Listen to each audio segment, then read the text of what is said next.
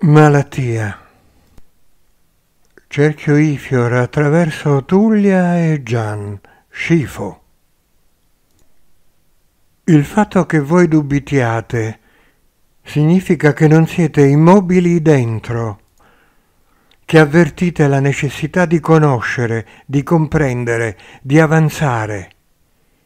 Ed è il più chiaro sintomo di quella malattia contagiosa e ineluttabile che è l'evoluzione.